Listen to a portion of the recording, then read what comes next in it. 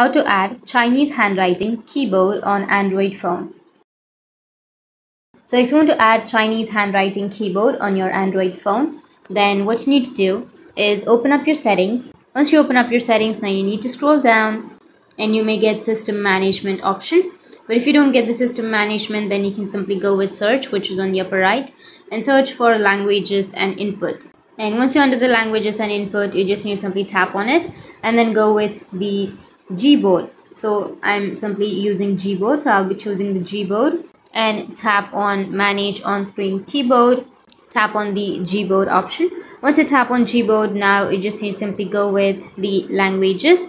Under languages, you can go with add keyboard and choose Chinese language. So you can simply choose any language. So for example, I'll be choosing the first one.